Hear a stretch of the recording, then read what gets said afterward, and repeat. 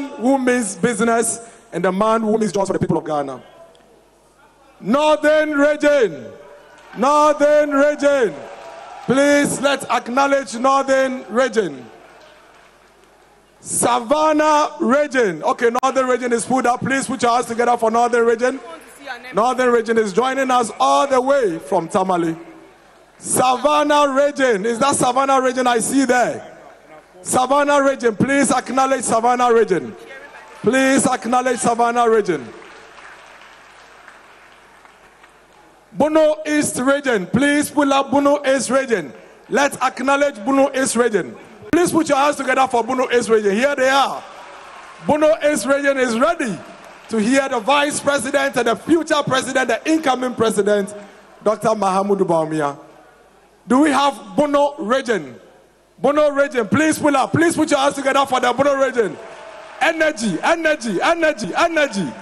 Energy from Sunyani all the way from Sunyani joining us in this conversation. Shall we have a Ahafo region? A Ahafo region. A Ahafo region. Please pull up a Ahafo region and let's acknowledge a Ahafo region. Shall we have West? Okay, a Ahafo region is here. Please put your hands together for a Ahafo region. That right there is a digital region. Each of them are seated behind a computer. Please put your hands together for Ahafo region each of them seated behind computers. You can see them, the digital region, Ahafo region. Thank you very much, Ahafo. Please put your hands together for Western North region. Shall we see Western North region right now? Western North region. Please pull up Western North region and let's acknowledge them. Western North region, all the way from Asankragua. That's Western region. Western region from Asankragua. Please put your hands together for Western region from Asankragua. That is Western region for you. Please acknowledge Western region. Shall we have Central region? Central region. Central region. Have we seen Upper West region already? Then let's see Upper West region. Let's see Upper West region. Upper West region. Please put your hands together for Upper West region. All the way from Wa. Thank you, Upper West region. Energy all the way from Wa, Upper West region. Now, the host region. And I'm sure I have mentioned all the 15 regions. I want to be sure. Eastern region, Koforidua, are you there? Koforidua, are you there? Koforidua, all the way from the Baka Hotel, please. Pull up Koforidua Eastern region so we can acknowledge them. Shall we have Eastern region on our screens now? Eastern region. We are still seeing Upper West region. So please show the love, more love for Upper West region. More love for Upper West region. Yes, yes, energy. Upper West, we see you, we see you, we see you. Upper West, we see you. The last region we have is Eastern region. But before Eastern region comes, shall we see the Ashanti region? Please let's give it up for Ashanti. Ashanti. Ashanti with your beautiful Ghana flags. Beautiful Ghana flags. Ashanti region, are you there? Ashanti region right there with your beautiful Ghana flags. Young hopeful people in Ashanti region with so much confidence that we are getting a president that is going to lead us into the future. Please give it up for Ashanti region. Their energy is plenty. Ashanti, we see you. Ashanti, we see you. Ashanti, we see you. Thank you very much. Now, the last region we haven't seen on the screen yet is Eastern region.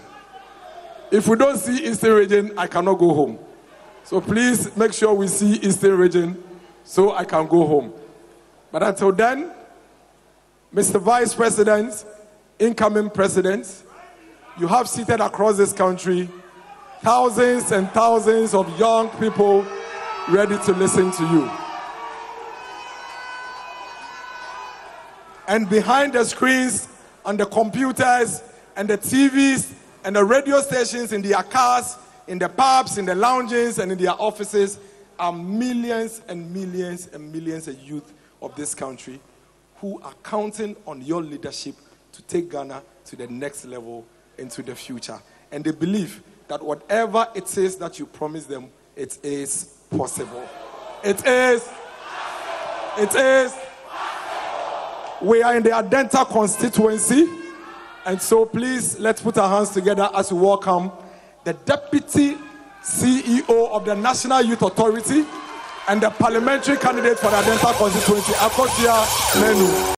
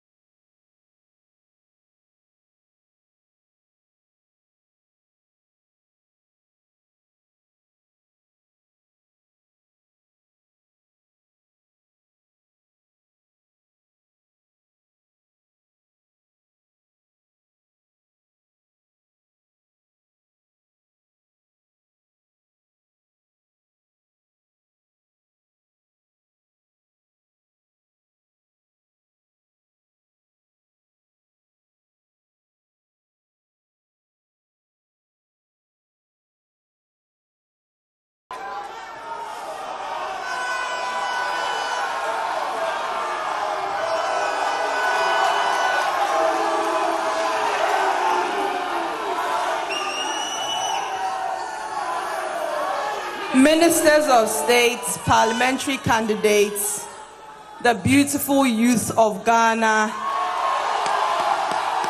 the incoming president, the man of possibilities, Dr. Mahmoud Bawumia.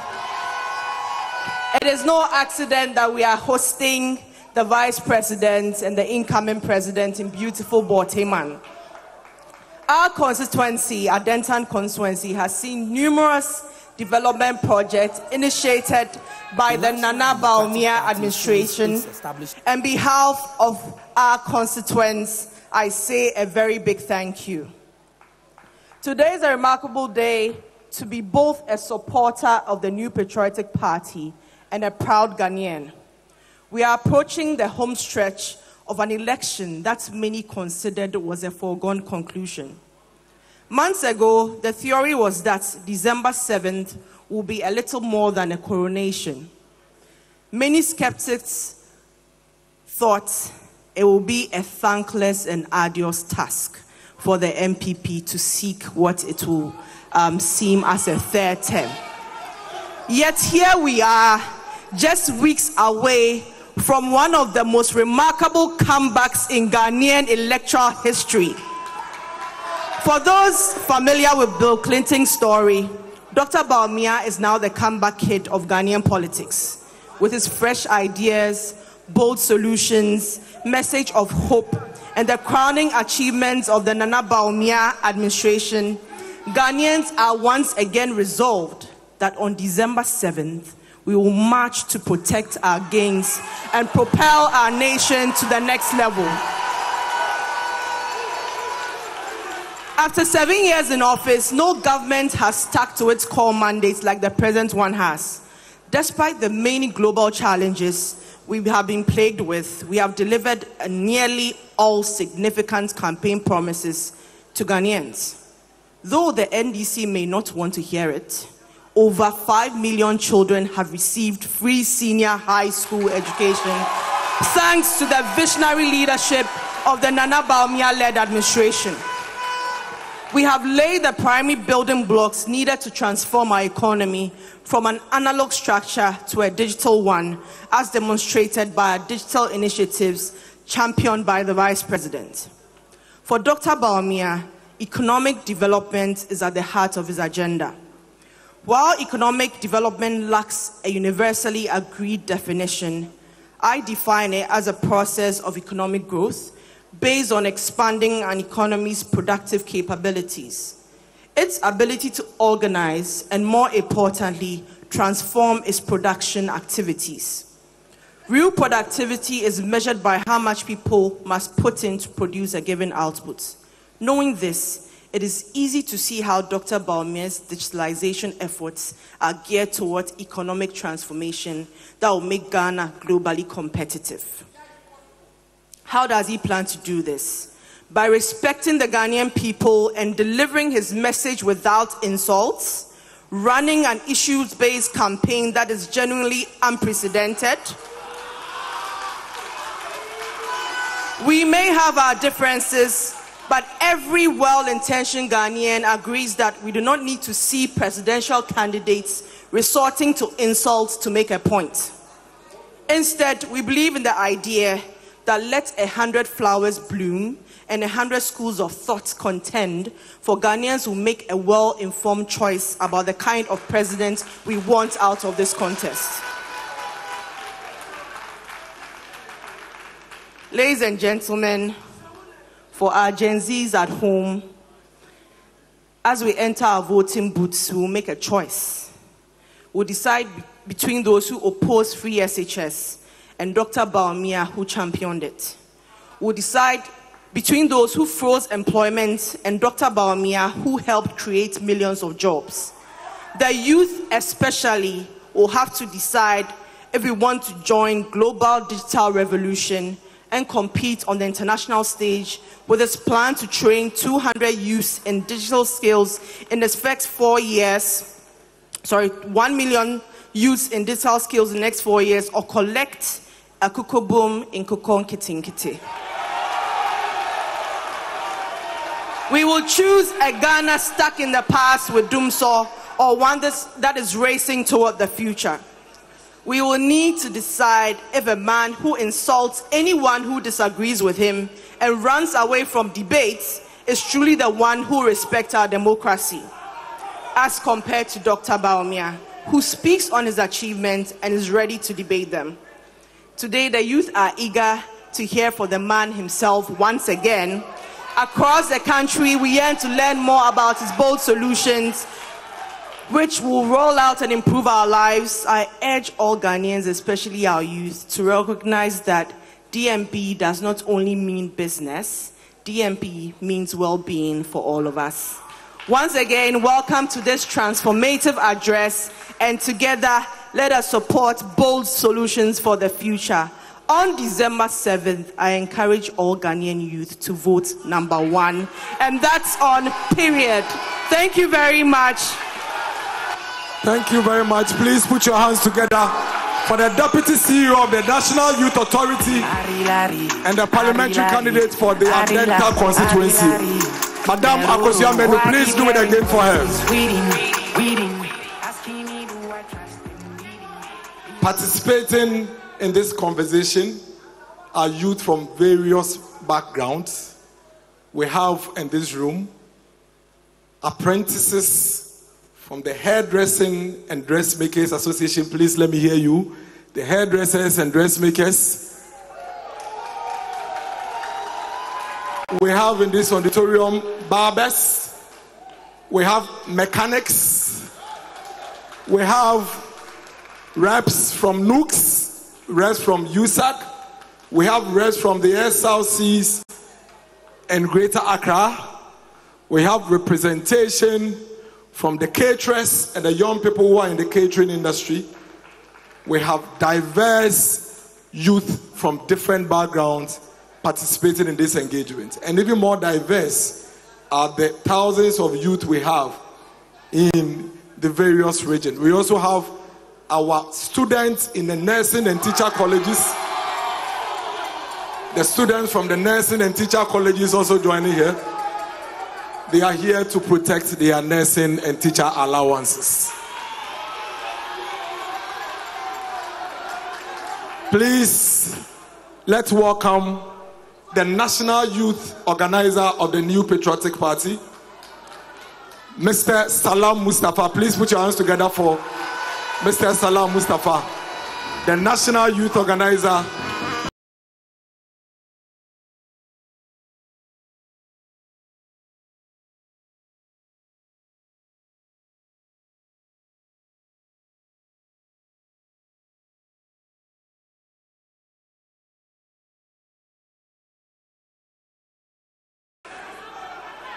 You know, I, thought that I was about to address a rally, so I nearly said Kukurudu. And Choboy. Good evening, young men and women.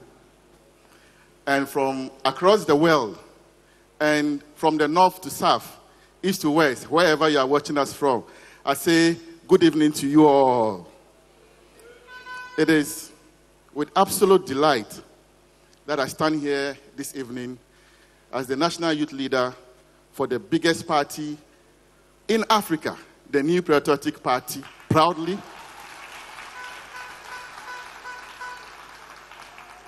to give these remarks as we prepare the way to listen to one of the most intelligent people, politicians that we have, smart, agile,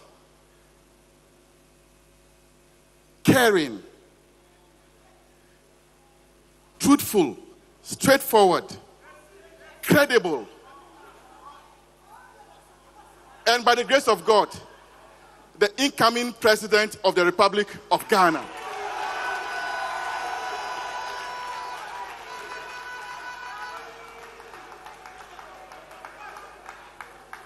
As the national youth leader for the NPP, I have traversed the vast lands of this country from north to south, east to west I have had interactions with thousands of young men and women, my colleagues, thousands and tens of them. And all of these discussions, one thing runs true jobs, employment, and lack of it. It is with joy that I stand here today that a leader recognizes this huge problem in our country and has decided to make it the front burner issue and what keeps him awake in the night. This shows that this is one true leader who will transform the lives of the young people of this great nation.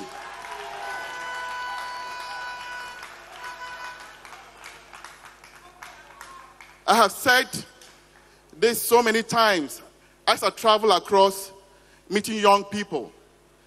Today, if we put a plane here and ask how many people want to go to the United States of America, this plane is going there. Almost everyone will run onto the plane. But I add that the United States of America, UK, Canada, Germany, angels, and saints did not come down to build those countries. Human beings did. Today, Dubai is the most sought after holiday destination. It took the vision of one man, Sheikh Al Maktoum, to turn around one a bare desert into today the most sought after tourism destination in the world. My colleagues, friends, it takes vision to make a country great and it takes the leader to do so. It is not the mindset of Nkuko and Kitten that can change a country.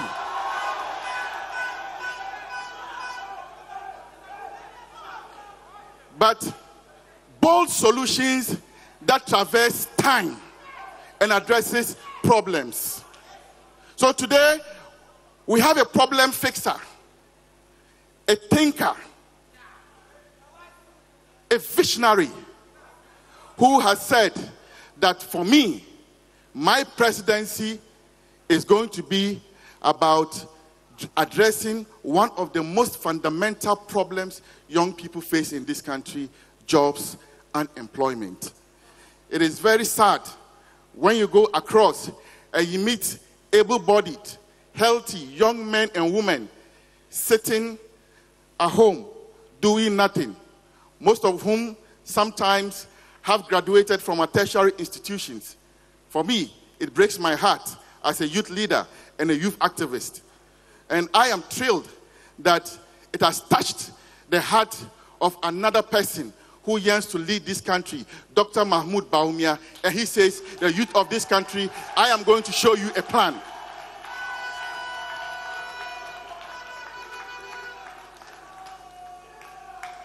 He says, I am going to show you a plan.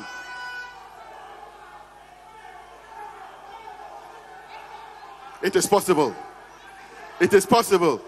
It is possible. It is possible. Thank you. Thank you. Thank you. Thank you. Thank you. Today, he had decided that he will speak to the young people of this great country of ours and let you know that all hope is not lost. There is light at the end of the tunnel, and that there is a leader who can make it possible for you to thrive in this country.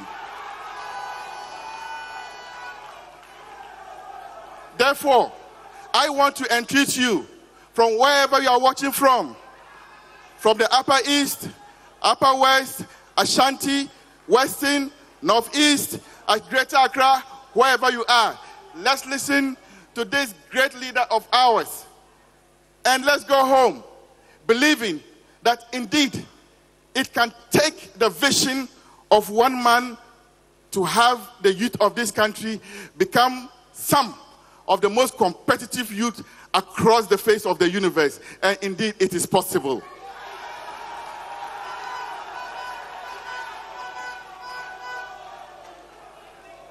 It is for me and you, all of us, colleague young people, we constitute majority of the voters registered today. Therefore, it reasons that the next president of Ghana is going to emanate from the youth. What kind of leader are we going to elect to lead us and solve the problems that plague us? It is a, it's a decision that you and I would have to take. And I can assure all of you that number one, it is.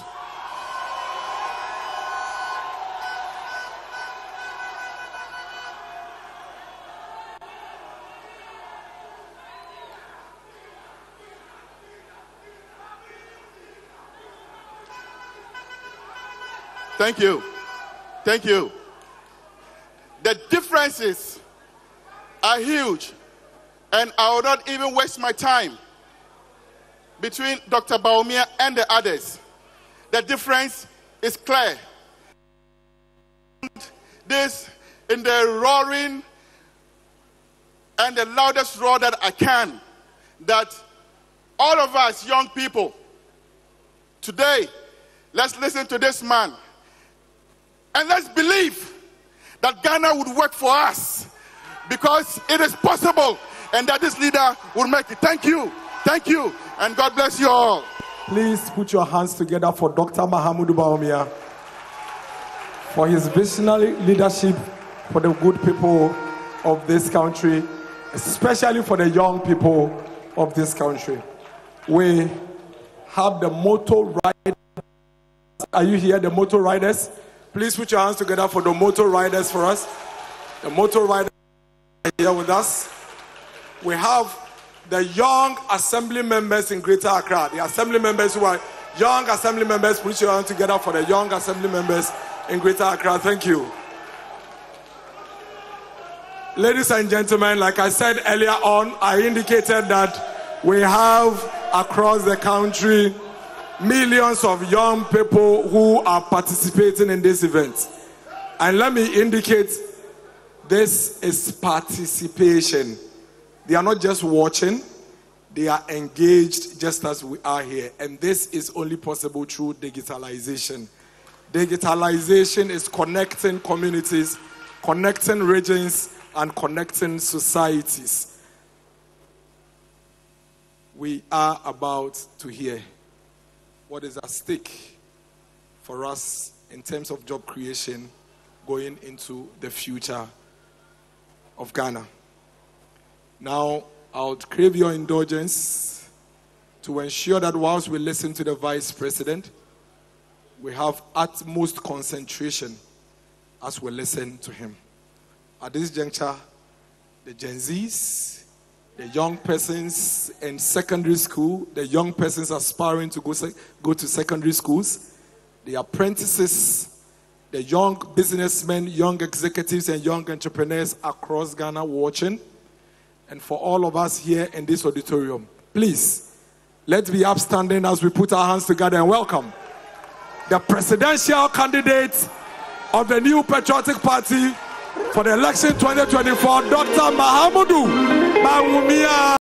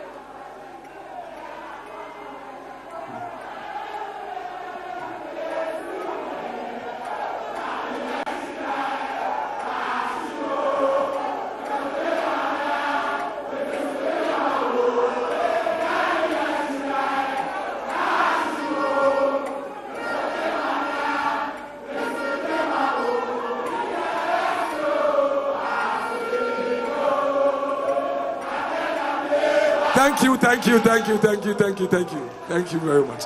Please put your hands together for yourselves. Thank you. Thank you. thank you very, very much. This is so exciting to be here this evening. And I know that the youth of Ghana have joined us from all the regions Upper West, Upper East, Savannah, Northeast, Northern region, Bono East, Bono, Ahafo, Western North, Western region, Ashanti region, Volta region, Oti region, Central region, Eastern region, and Greater Accra region. Thank you all for making the time, and I wish I greet all of you. I wish you a very good evening. Fellow ladies and gentlemen, youth of this country, tomorrow will be exactly 12 months to the day I was elected by a clear majority of the new Patriotic Party to lead the party as its presidential candidate for the 2024 elections. 34 days from today, you, the millions of young people of Ghana, will form the majority among the 18.7 million voters who are expected to cast their ballots. Your task is to perform two simple but extremely important duties. One, choose a parliamentary candidate to represent your constituency in the ninth parliament. Secondly, you will be choosing the next president whose responsibility is to provide for your present to facilitate your future.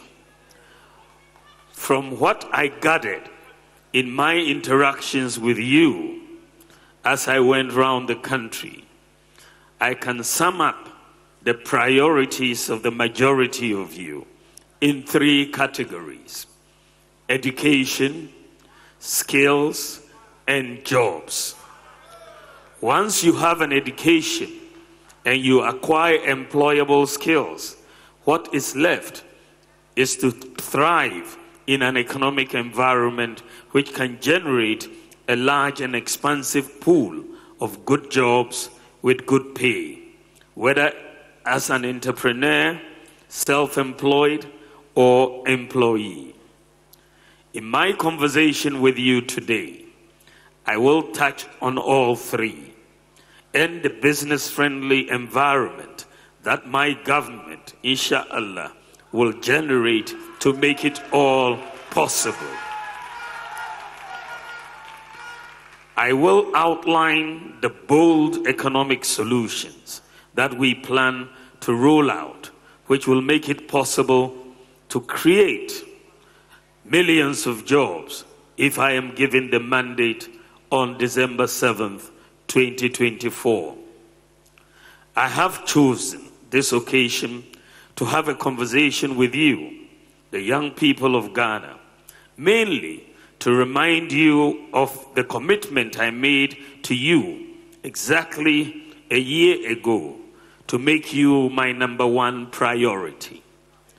My commitment is to transform Ghana, to build on the economic recovery we are witnessing by introducing bold, business friendly policy initiatives from January 2025, which are designed to stimulate significant economic activity. I am confident that these initiatives will create the large pool of diverse jobs that the young people of Ghana desire and deserve. Distinguished ladies and gentlemen, just to give you a little indication about my faith in what is possible for us to achieve together beginning January 2025. The growth of the Ghanaian economy has been revised upwards to 4% for 2024 and higher in 2025. To put it into perspective, the economy grew by a mere 3.4% in 2016, the last year under President John Mahama. In fact, in 2025, Standard & Poor's is more buoyant with their forecast at 5.4%. I am even more optimistic that it is possible to do even more if, with your vote, you elect me as your next president and we implement and we implement my comprehensive business friendly and job creation programs as outlined in the NPP manifesto, some of which I will highlight here. I'm seeing from the online numbers as I speak that more and more of you are watching and listening to me live across the country and beyond. I thank you for your attention. I know many of you will be voting for the first time next month. Indeed, eight years ago, many of you were too young then and therefore could not vote in 2016. Perhaps too young to remember self inflicted crises and homegrown hardships that my opponent put the nation through at a time when the whole global economy was rather stable and growing. You may not remember much that Ghanaians endured unforgiving dumsor for well over four years. If we were lucky, the lights would come on some part of the day and off for a whole 24 hours the next day, and so on. Barbers and hairdressers worked to earn just enough, if they were lucky, to pay for diesel for the small generator they had borrowed. The situation led to severe low productivity across board. Factories could not stay open for months, let alone 24 hours. And several Ghanaians lost their jobs as a result of the bad leadership choices of my opponent. The banks were bleeding. Some senior high schools had to shut down because the government refused to pay their feeding grant for two years. In 2016, just a few years after we became an oil producing country, Ghana's economy, to the shock of the world, suffered its lowest growth rate for more than a generation. The situation was so bad for young people that a new group was formed with impressive, with impressive membership nationwide. The name of that group was Unemployed Graduates Association. Coincidentally, the president then is the same man who is my opponent or who would be my opponent on Saturday, December 7th. I know some of you may not be too eager to vote. I do not blame you if you have bought into the view that all politicians are the same and that your vote won't make any difference. But that is not so. I can tell you that your vote can make a big difference. I will tell you that I will tell you why we are all not the same and cannot be the same. I am not John Mahama.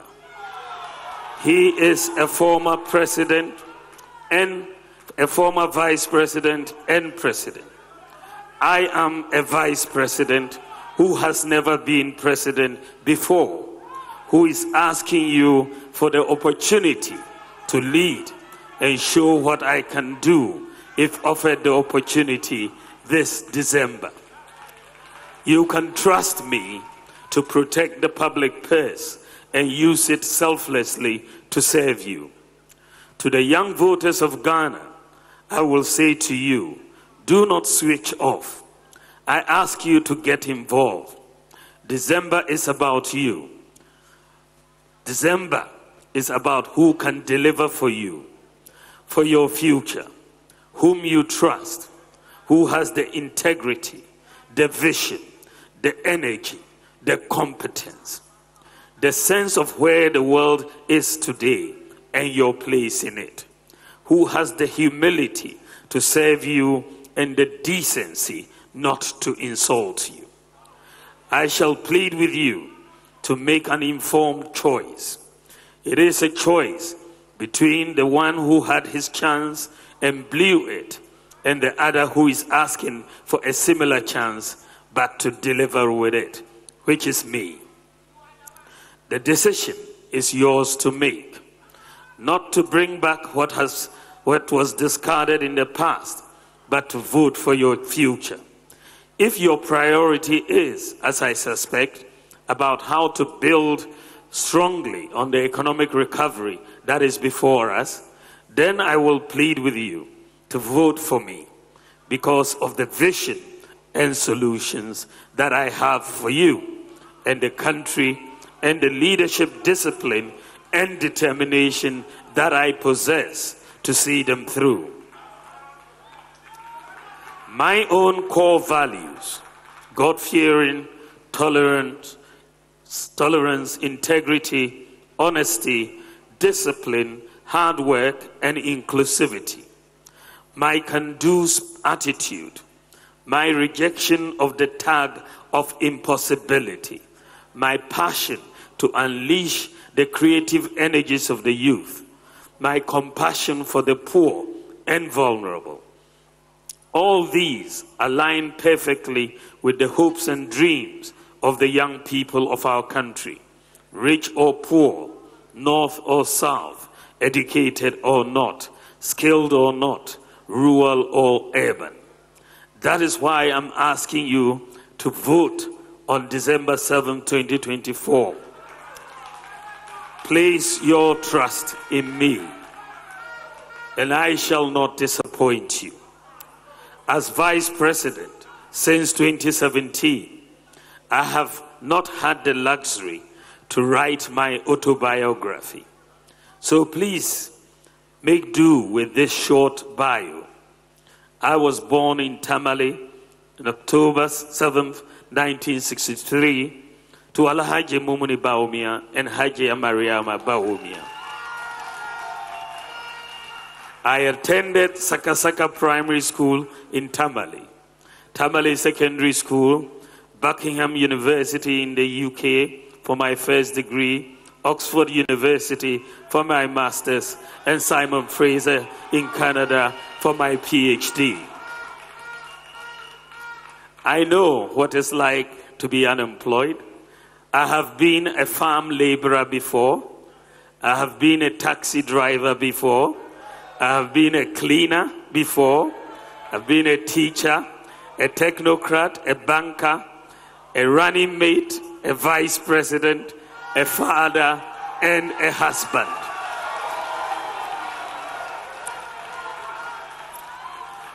As a technocrat, I worked at the Bank of Ghana, rising to become deputy governor before entering into politics as Nana Addo Dankwa Akufo-Addo's running mate in 2008.